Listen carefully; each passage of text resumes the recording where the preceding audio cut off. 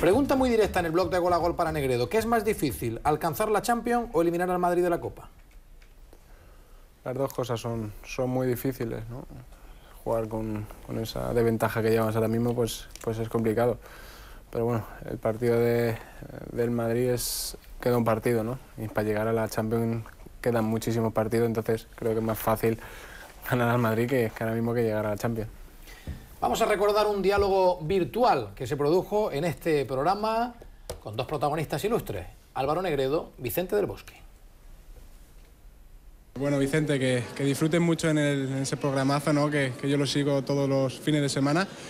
Y bueno, que, también disfrutes de esta ciudad, ¿no? Andalucía, que, la verdad que yo llevo aquí ya casi cuatro añitos y, y estoy muy a gusto, ¿no? Y mucho, muchas felicidades también por, los éxitos que estás consiguiendo y una pena que, que bueno, que ese premio no, no te lo llevases tú, ¿no?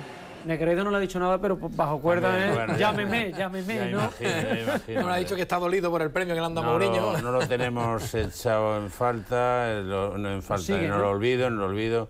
Eh, además que tengo un muy buen recuerdo de él, porque yo creo que uno de los mejores partidos que hemos jugado nosotros fue en Bosnia Bosnia. y ¿Debutó estuvo él, A lo grande. estuvo fantástico, ¿verdad? Así que no le tengo olvidado desde luego. El viernes, primera lista de la campeona del mundo de 2011, ilusionado.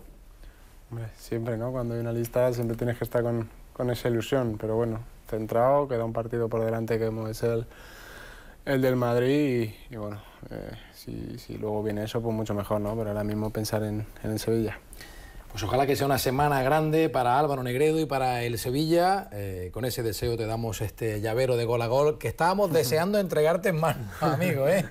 Me ha costado, pero ha sido un placer recibirte. Muchísimas gracias. Muchos acontecimientos felices a la vista, tu paternidad, esa eliminatoria con el Real Madrid, la selección, que te vaya muy bien, de verdad. Mucha suerte, Álvaro Muchísimas Negredo. gracias.